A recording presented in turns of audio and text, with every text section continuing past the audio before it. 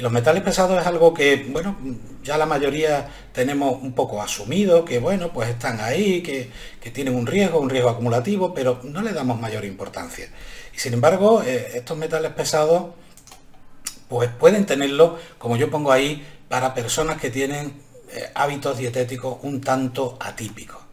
Y aquí vamos a hablar pues de elementos que podrían estar relacionados con el puro azar y elementos que, bueno, pues al final en una serie de coincidencias te llevan a un suceso que podría ser fortuito en el caso de que lo estás estudiando o podría ser bastante desgraciado para la persona que lo está consumiendo.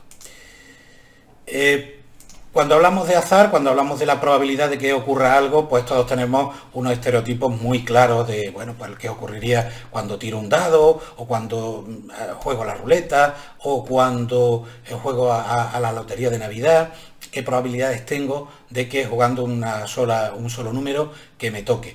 Eh, no sé si habréis llegado a echar cuentas de las probabilidades que tenéis de, que os toque la primitiva, uno entre 19 millones, es bastante complicado, pero eh, yo voy a hablaros de algo incluso más complicado. ¿Qué ocurre cuando se repite ese azar? Cuando a una misma persona le, toca más de una vez un premio. Y esto pues lo vemos con, poca frecuencia, pero sí se da. Y hablamos de que, bueno, pues se, han repartido boletos en determinados sitios, que hay determinadas administraciones de lotería especialmente, digamos, calientes en cuanto a la, posibilidad de dar premios, o incluso, pues, señoras súper afortunadas que les toca varias veces eh, la, primitiva en Estados Unidos. Aquí uno se puede preguntar, bueno, ¿realmente esto es eh, eh, puro azar o hay ahí algún tipo de influencia? Bueno, pues esa misma pregunta es también la que nos podemos plantear cuando nosotros vamos a estudiar otro tipo de cosas. Eh, y en este caso yo voy a hablar de, ese otro aspecto, hablábamos del azar y la serendipia, y la serendipia es encontrarte, cuando tú no lo estás buscando, encontrarte algo afortunado. ¿eh? Lo que ocurrió con el descubrimiento de la penicilina o con cuantos otros descubrimientos en la ciencia. Eh, bueno, pues nosotros estábamos eh, haciendo un estudio sobre metales pesados en setas, para lo cual pues en temporada nos íbamos a buscar las setas al campo y tal, y nos encontramos un año con una temporada bastante, bastante mala, una época en que eh, una sequía bastante pertinaz, con lo cual pues llegamos a la época de setas en la que pues, el número de individuos que se podían recolectar era muy bajo. Y nosotros teníamos un proyecto de investigación que nos habíamos comprometido a hacer el estudio de unos determinados tipos de setas en Andalucía y pues no las encontrábamos. Entonces, indagando a través de recolectores y demás, nos avisaron de que había una persona, había varias, pero hablaron de una en concreto, que tenía más de 100 kilos de la seta que a nosotros nos interesaba, almacenada congelada desde el día anterior, desde el año anterior, perdón cuando vamos a preguntar a, este individuo, efectivamente, tenía esta persona ahí su seta y vamos a preguntarle que si es que la vendía o qué hacía con ella, nos cuenta que no, que es para consumo personal de él y de su familia. Con lo cual empezamos ya a plantearnos una cuestión tanto preocupante cuánta seta puede comer una persona, porque lógicamente la seta es un vehículo de metales pesados porque es un bioacumulador de metales pesados y si los encuentra en el ambiente los puede bioacumular. Por tanto, podría ser un potencial vehículo de esos metales pesados a población general, pero como la mayoría de las personas consumimos la seta esporádicamente, no tendría mayor riesgo, pero en este tipo de personas sí podría haber más, más riesgo. Eh, no sé si va a escucharse el vídeo, yo lo pongo, un Rolex. Pero, aquí estamos. ¿A setas, o a Rolex? Bueno, pues esto es lo que decían mis compañeros. Bueno, y este hallazgo de los, de los 100 kilos, ¿qué tiene que ver con que nosotros estamos buscando eh, contenido de, metales pesados en setas? Pero a mí me, llegó la curiosidad y bueno, pues llegamos a investigar este tema un poquito más hasta el punto de esa serendipia de, tener una publicación sobre los hábitos de consumo de eh, los recolectores de setas y su efecto sobre la ingesta semanal tolerable. Luego hablaremos de, este artículo, pero es un poco para que veáis mm, en algunos casos de dónde salen lo, fortuito que puede ser el que tú empieces a investigar sobre un tema. Eh, En otro caso parecido, en más o menos en fechas similares, pues estamos también trabajando en otra fuente de contaminación eh, en la cadena alimentaria, otra fuente de, contaminación para el hombre, que es eh, los metales pesados, concretamente eh, el plomo, en los productos de la caza. fundamentalmente por el hecho de la propia munición que pueda acceder parte de este plomo, pero también en ciertas especies que por sus costumbres de consumo de alimentos pueden incorporar ese plomo a, su musculatura, a su hígado, a su riñón, etc. Y bueno, pues nos encontramos con una situación similar. En los sitios donde íbamos nosotros a coger esa carne de caza, pues nos encontramos personas que se llevaban pues eh, dos venados, tres jabalíes, y bueno, pues lo típico, oye, pues esto será para venderlo. Cuando nos enteramos que no, que hay personas que esto se lo llevaban para consumo personal y a lo largo del año, pues preparaban, congelaban la carne, iban consumiéndolo a lo largo eh, del año. Eh, hablaban algunos de que consumían más de 100 kilos de carne de caza al año entre su familia y ellos. Con lo cual, de nuevo, nos encontramos una situación muy parecida. Eh, estas personas realmente podrían tener un mayor riesgo de contaminación por metales pesados y fue otro de nuestros focos de estudio el averiguar realmente qué cantidad de carne de caza podrían llegar a consumir eh, estos consumidores. Lógicamente estamos viendo unos individuos muy concretos, quizás esa punta del iceberg, del iceberg, pero ¿qué había debajo? ¿Cuántos de los consumidores, digamos, más habituales, de los cazadores más habituales, consumían cantidades más o menos altas de este producto? Y claro, aquí empezamos a, hacer nuestras cábalas y empezamos a echar nuestras cuentas de que realmente si esto podría tener algún sentido, indagar más en esas posibles contaminaciones.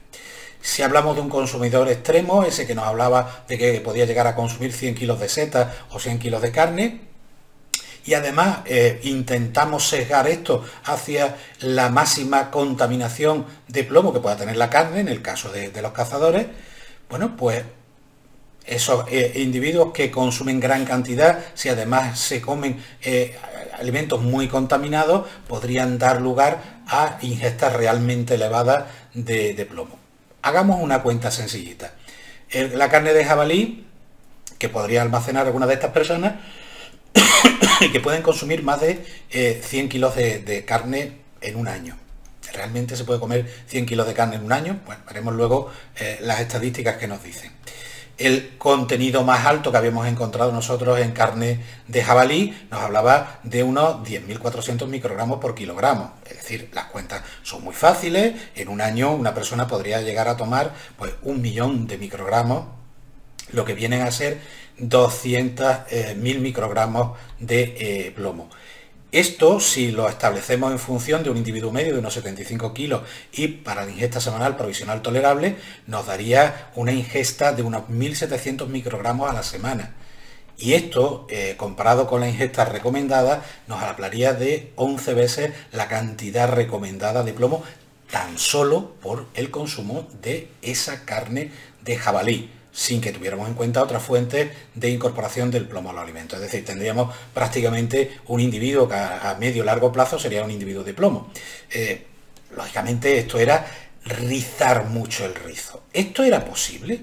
Esa era la pregunta que nosotros teníamos. ¿Es posible que esto ocurra? Pues sí, posible es. Es decir, nosotros hemos hecho los cálculos y por tanto puede ocurrir. ¿Es probable?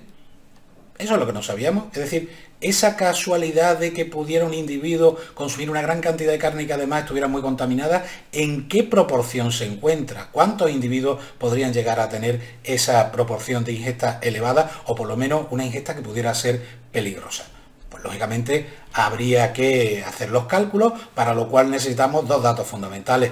El contenido de metales pesados de los alimentos que íbamos a investigar y el consumo que esas poblaciones de consumo atípico, cazadores o recolectores de setas podrían hacer de esos productos. Eh, si vamos a datos estadísticos de población general, los datos que nos da el mapa o los datos que nos pueden dar otro tipo de encuestas, pues nos hablan de que un españolito medio consume unos 45,24 kilogramos de carne al año. Eh, aquí estamos incluyendo, pues lógicamente, poblaciones que consumen menos. Estadísticamente, las mujeres comen menos carne, los niños comen menos carne, pero es que luego tenemos también un grupo creciente de veganos, ovo-lacto vegetarianos, flexi-veganos, en que, bueno, pues el consumo de carne es reducido y un grupo de población muy importante que, eh, aunque no practique este tipo de restricciones tan severas, sí hace un uso mucho más moderado de carne que la que se hacía en otros tiempos. Con lo cual, estadísticamente, sí podría darse que un individuo pudiera tomar perfectamente 100 kilos de carne. De hecho, en otros países se da casi de media. Eh, por tanto, en cazadores ya tendríamos el dato. En recolectores de setas ni siquiera teníamos ese dato porque los datos que encontramos del mapa, pues al final son datos en que nos hablan del champiñón, pero del consumo de setas hay muy poca información.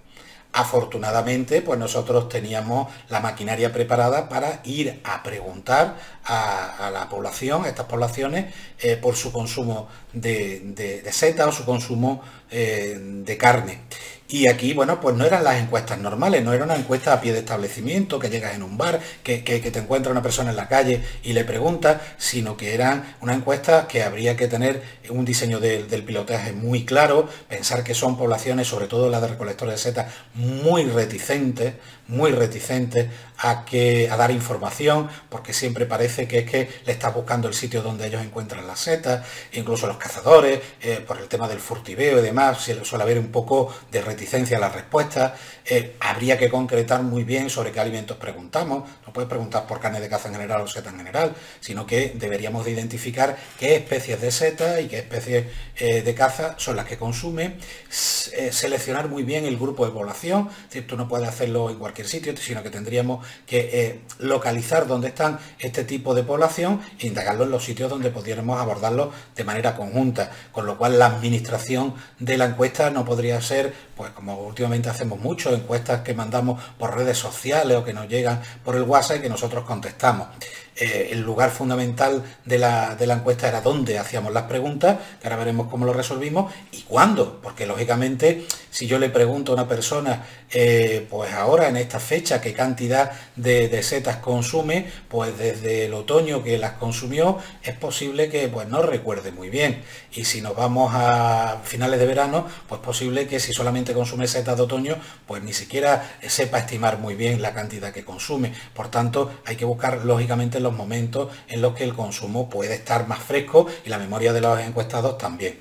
Por tanto, con todo este panorama, pues nos decidimos a buscar a esas personas que tenían una alimentación atípica y preguntarle, juntas de caza, en cacería, en montería, eh, pues con, recolectores de setas especialistas, con gente aficionada, en, jornadas micológicas y lógicamente en congresos y jornadas donde asistían este tipo de población. Ese era nuestro nicho. Como podéis imaginar, nada fácil porque lógicamente eh, este tipo de eventos no son habituales, hay que localizarlos, hay que ir y hay que en muy poquito tiempo hacer un número de encuestas suficiente para tener información que sea estadísticamente fiable.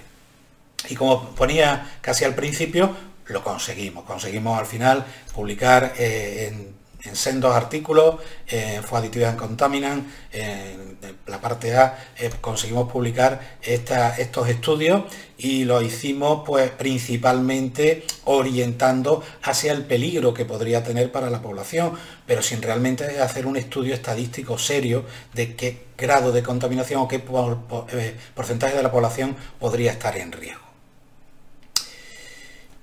Teníamos ya las encuestas, ya teníamos lo que los, eh, los cazadores y los recolectores de setas consumen, nos faltaba la segunda parte de la ecuación, cuánto teníamos de metales pesados eh, en, tanto en las setas como en la carne de caza. Afortunadamente, ese era el objetivo primero de nuestro estudio, que iba encaminado, pues, por una parte, a dos tesis doctorales que se hicieron sobre carne de caza, uno en caza mayor y otro en caza menor, y por otra parte, lo teníamos también enfocado a un estudio que nos había solicitado eh, la Consejería de, Medio Ambiente sobre contaminación de, de metales pesados en setas silvestres. Por tanto, ya teníamos la información, pero la información estaba pues de una forma que había que organizar y que había que estudiar su distribución probabilística. porque eh, a la hora de hacer los cálculos, tradicionalmente, y sobre todo en metales pesados, se ha trabajado por un sistema de estimación y escenario. ¿Esto qué significa? Pues esto significa que yo estimo qué cantidad podría comer una persona y me voy a escenarios de contaminación previamente fijados. Podemos hablar por tamaño de raciones habituales de consumo, eh, por extrapolación de consumo de alimentos similares. Aquí podríamos decir, oye, pues si consumen 45 kilos de carne, pues vamos a imaginarnos que son 45 kilos de, carne de caza. ¿eh? Pues mucho suponer, pero lo podríamos hacer así. Con lo cual al final tenemos un solo dato un solo dato que es el consumo promedio o como mucho una desviación típica. Y por otra parte tenemos también el contenido de los metales pesados. Aquí sí tenemos una posibilidad de distribución y normalmente lo que hacemos es un intervalo de confianza y no a los niveles del intervalo de confianza que pudiera interesarnos por más elevado. Normalmente un 95 o un 99%. Bueno, al final lo que hacemos es cantidad media que ingiere el individuo multiplicado por la concentración en ese intervalo de confianza, el límite del intervalo de confianza al 95 o 99%, vuelve a darnos un dato. Lo mismo que cuando nosotros hicimos el cálculo para ese valor más extremo. ¿Y ese dato qué significa? ¿Realmente podemos decir que con ese dato caracterizamos el riesgo que tiene la población? Pues realmente no. Tendríamos que hacer cálculos más complejos.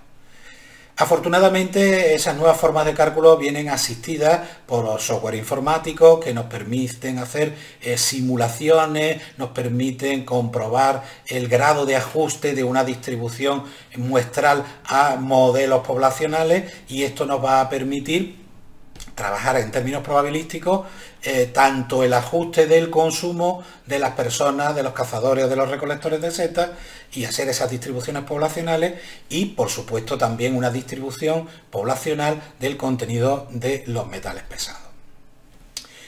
Al final el cálculo de la ingesta no es una multiplicación simple. Yo no multiplico una media por una media, una media por una desviación típica, sino que cruzo las dos distribuciones poblacionales y tendré todas las posibilidades. Desde individuos que consumen muy poquita, por poner carne, con contenidos muy bajitos de metales pesados, a individuos que consumen muy poquita carne con contenidos muy altos de metales pesados, o individuos que consumen eh, cantidades muy altas con contenidos muy pequeños de, metales pesados, o cantidades muy altas con eh, altos contenidos en metales pesados. Por tanto, me da una distribución probabilística de cómo se enfrentan estas dos poblaciones de consumo y eh, de contenido de metales pesados. Aquí tenéis, pues, por ejemplo, un, elemento, consumo de carne de caza en kilogramos por año, y aquí tenemos otro dato que sería, por ejemplo, la distribución del contenido de plomo en la carne de jabalí. Bueno, eh, nosotros realmente no trabajamos con estos eh, dos únicos datos, sino que empezamos a, trabajar eh, con muchos más escenarios posibles. De esta conjunción llegamos a una, digamos, conclusión probabilística, es decir, por puro azar, si solamente atendemos a la probabilidad de que ocurra de que un individuo consuma una elevada cantidad de carne y con un contenido de, metales pesados muy alto, pues la probabilidad es tan baja como que nos toque la primitiva. La distribución es más o menos, como estáis viendo, eh, enfrentando esos dos parámetros. Es decir, ese punto tan elevadísimo de, ingesta de plomo por consumo de carne se daría en muy poquitos individuos. Eh, además de todo esto, tendremos que tener en cuenta otra cuestión, y es que esas personas no toman exclusivamente carne o no toman exclusivamente setas, sino que están consumiendo una variedad de alimentos que de por sí le están aportando metales pesados. Por tanto, tenemos que ir a datos de referencia de cuántos metales pesados están ingiriendo estas, estas personas, estas poblaciones.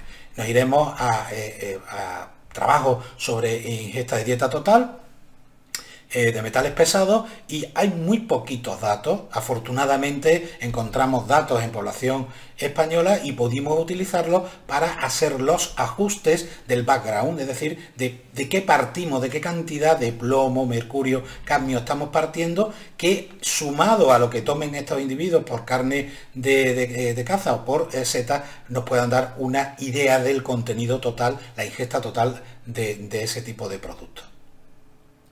Aquí tenéis datos de referencia, tanto de consumo de carne en diferentes comunidades autónomas, esto deriva de, una tesis, de un par de, trabajos eh, científicos, y por otra parte teníamos de esos mismos estudios, teníamos eh, datos del contenido, en este caso, por ejemplo, de plomo a partir de la carne. Con lo cual, lógicamente, yo tengo que calcular cuánto me aporta la dieta total, de plomo, pero tengo que restarle la parte de la carne que sea equivalente a lo que va a comer de carne de caza. Es decir, un individuo no toma carne de caza por encima de la carne que toman el resto de la población, sino que sustituye parte del consumo de carne que tiene, eh, de pollo, de cerdo, de ternera, por carne de caza.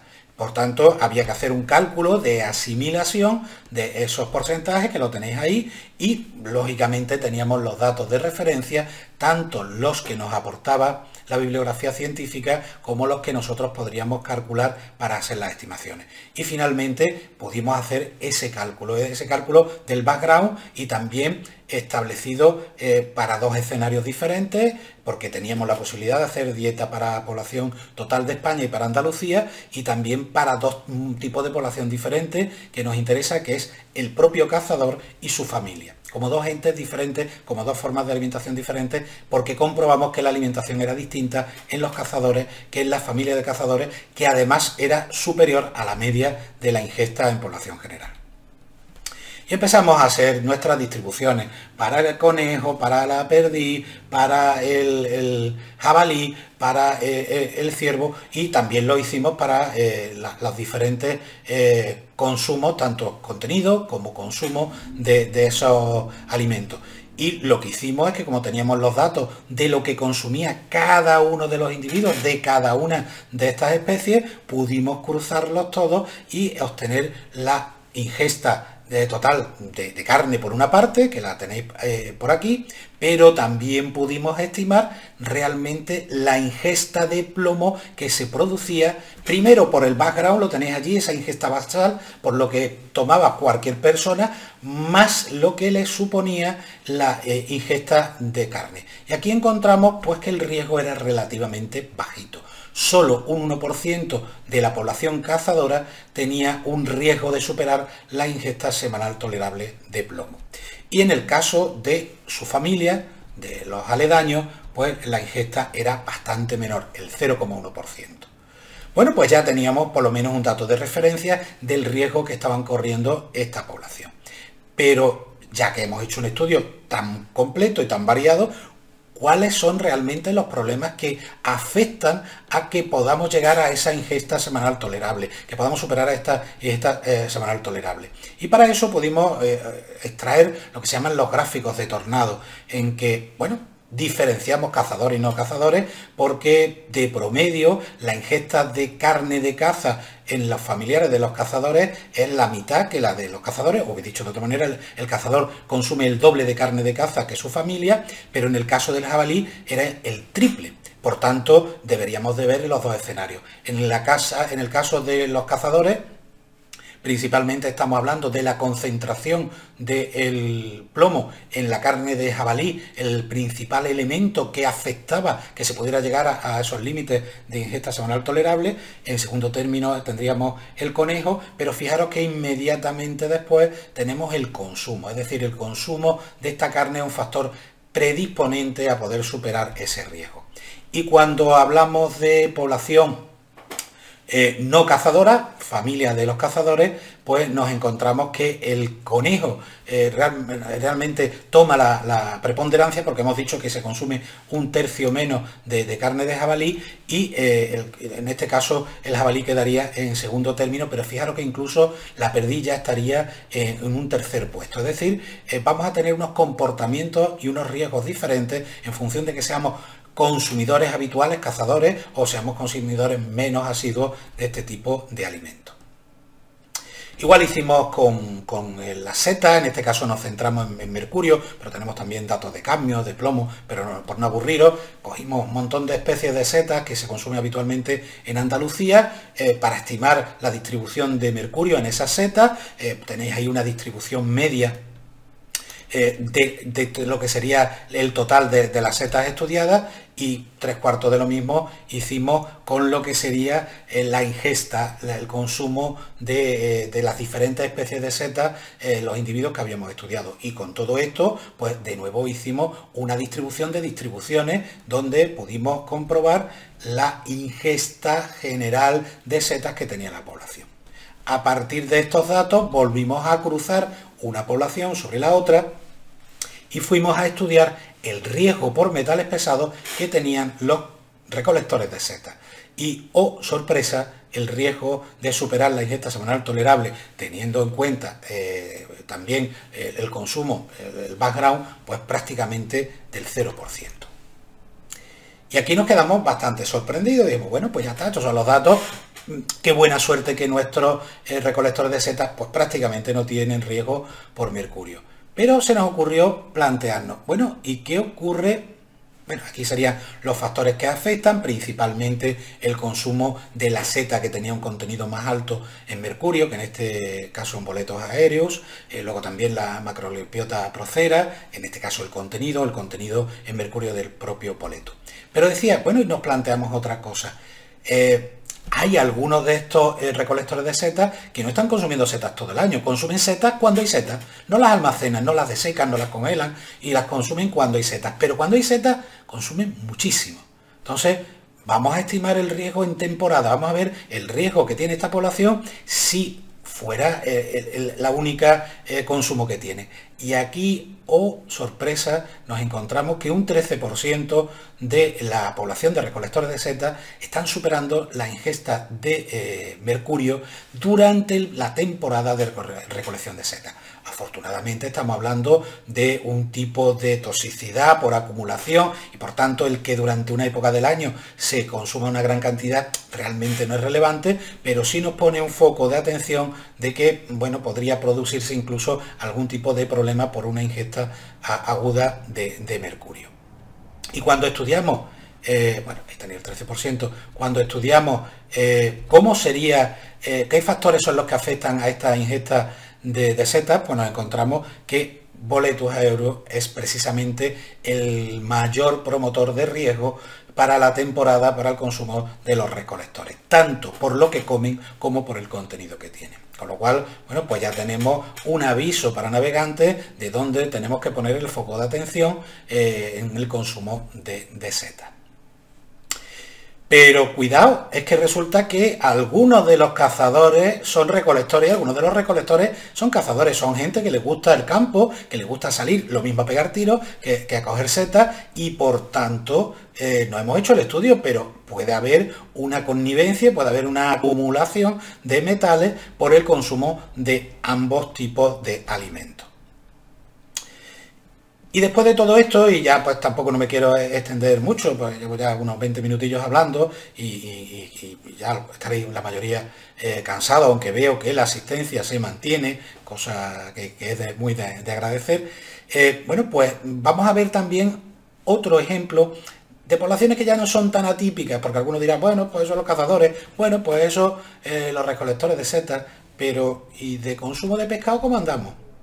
Bueno, pues nosotros centramos un estudio en evaluar el riesgo por, mercurio en población española, pero en población general. Y algunos dirán, ¿y dónde está aquí lo atípico? Pues lo atípico es que somos el segundo país del mundo, ahí ahí con el primero, en consumo de pescado. Con lo cual, la diferencia de consumo de pescado que tenemos aquí en España por ejemplo, con el resto de la cuenca mediterránea es abismal. Y estamos hablando de la cuenca mediterránea donde el consumo de pescado es bastante frecuente y partimos de poblaciones que habitualmente han tenido una, actividad pesquera importante y una actividad de piscifactoría importante. Por tanto, eh, quisimos ver la caracterización probabilística del riesgo que tiene la población española por mercurio a partir de la ingesta de pescado. Aquí ya no había que ir a sitios especiales a recopilar datos, sino que partimos de la encuesta, de cuando hicimos el estudio, lo que había publicado, que era la encuesta de NIDE de, 2011, eh, hicimos comparación de esos datos con los datos que aportaba el Magrama para ver si realmente la estimación que hacíamos con la encuesta de consumo de pescado podría ser eh, más o menos cierta y eh, lo que hicimos es, a partir de toda la encuesta, más de 3.000 eh, encuestados a los que se le hicieron cuatro encuestas diferentes, fuimos seleccionando eh, los aportes de pescado y nos creamos nuestra propia base de datos en la que veíamos la cantidad de pescado que consumía, pues, aquí tenéis de forma global, pero lógicamente per cápita. Y además teníamos una distribución, es decir, no estamos hablando solamente de la media o la desviación típica, sino que teníamos los 3.000 individuos y veíamos esos 3.000 individuos desde quien no tomaba nada de pescado, a quien tomaba nada más que sardina, a quien tomaba sardina, bacalao y, bacaladilla, etcétera, etcétera. Por tanto, teníamos un buen universo, un buen muestreo para estimar el consumo real de pescado eh, en España. Y luego necesitamos los datos de, mercurio. Bueno, pues aquí teníamos un hándicap de, cómo localizar esos datos de mercurio. Lo primero que pensamos era analizarlo, pero nuestra disponibilidad de acceder a, todas las fuentes de, pescado en España era complicado. Y este aquí que nos encontramos que en 2003 el Instituto Español de Oceanografía había hecho un muestreo sistemático de los principales caladeros que abastecían a, España, a la población española, y tenía los datos de mercurio, además de otros metales, perfectamente tabulados. Difícil de encontrar, porque el estudio está publicado, pero está descatalogado y lo teníamos directamente en papel, y ahí tenéis un poco una, una, imagen de lo que teníamos, que teníamos que transformar en una hoja de cálculo en donde tendríamos de nuevo datos individuales, porque estos eran datos de eh, extracciones de pesca, pues de bien de lote o bien de individuos concretos de pescado, donde nos indicaba pues la especie, para nosotros muy importante, con su nombre científico, lugar de procedencia, algunos datos de clasificación y sobre todo el contenido de metales pesados. Eh, fuimos a ver realmente si los datos que nosotros habíamos conseguido calcular de distribución de ingesta de pescado en población española eh, podrían estar cercanos a lo que nos decía el, el magrama. Y nos encontramos con la feliz sorpresa de que estaban relativamente cerca. Eh, nuestra mediana de, consumo eh, de pescado estaba en torno a 78,3 gramos por, de pescado y día y los datos de Magrama de 2010, para que fuera equiparable a, la, a encuesta NI de 2011 que se había hecho en 2010, pues nos hablaba de 74,8, pues una fluctuación totalmente eh, aceptable. Eh, a partir de aquí, pues empezamos de nuevo a hacer nuestros cálculos de distribución del contenido de mercurio en cada una de las especies de pescado. No es una cosa global, no es que me da igual lo que tome, sino para cada especie de pescado, porque en la población española nosotros teníamos datos de consumo de cada especie de pescado. Y lo que hicimos es el cruce probabilístico. Y nos encontramos, pues, los niveles que ahora os referiré, pero un dato que últimamente está ya tomándose en consideración. Cuando nosotros publicamos esto, que fue en 2016 finalmente cuando vio la luz, pues salió algo que todo el mundo esperaba. Oye, el consumo de atún y el, contenido de mercurio de atún, pues puede ser de lo más importante. El pez de espada, como no va a ser importante el consumo de pez de espada. Pero fijaros que teníamos ahí la merluza y el consumo de merluza y el contenido de mercurio de merluza como siguientes factores eh, predominantes. Cuando la merluza no se había considerado hasta ahora. Hoy sí se considera la merluza como una potencial fuente de mercurio para la población española y enfrentamos los datos que encontramos con las diferentes recomendaciones que hay para Mercurio, que son eh, bastante distintas, y nos encontramos que las poblaciones que estaban en riesgo dentro de la población española, de forma general, dependiendo del el indicador de ingesta que nosotros utilizáramos, nos hablaba de entre un riesgo de un 2,6% de la población hasta un 21,2% de la población. Cuando hablamos de metilmercurio, es la principal forma en que se presenta el mercurio en el pescado. Pero es que si además esto lo discriminamos eh, por edades y por sexo, vemos que al final hay ciertos grupos de población, como son hombres frente a mujeres y como son poblaciones de más de 45 años frente a los más jóvenes, que serían los que mayor riesgo tienen, porque lógicamente son los que más eh, pescado consumen hasta un 24,4% de la población, hombres adultos mayores de 45, de 45 a 64 años, serían los que tendrían un riesgo más elevado. ¿Y qué pasa si lo sumamos todo? si metemos todos los metales y calculamos el riesgo que tiene sobre la salud de una persona el consumo de una variedad de metales pesados, porque antes hemos dicho, eh, los pescados, además de mercurio, eh, tienen otro tipo de contaminantes y por otra parte tenemos que... Eh, tenemos diferentes fuentes de contaminación. Bueno, pues esto también lo hemos hecho, hemos utilizado el índice, el Hazard Index, para poderlo calcular y ya tenemos algunas publicaciones lógicamente no nos vamos a parar a hablar de esto, pero para terminar ya, para rematar, que yo seguro creo que la organización está ya muy nerviosa de que me estoy pasando de tiempo, ¿Qué pasaría si sumáramos todos estos hábitos atípicos con todo el riesgo de metales pesados calculado por el Hazard Index para intentar evaluar el riesgo total de ciertos grupos de población? Lógicamente los cálculos serían sumamente complejos, pero posiblemente identificáramos individuos de un riesgo extremo por el consumo total de metales pesados en determinadas eh, condiciones. Eh, reiterar mi agradecimiento a la organización y la paciencia que todos habéis tenido para llegar a este, a este momento, a esta alta hora ya de, de la tarde para lo que es una época de pandemia y me quedo en manos de la organización para con el resto de mis compañeros que les pido que se incorporen, eh, pues eh, contestar a esas preguntas.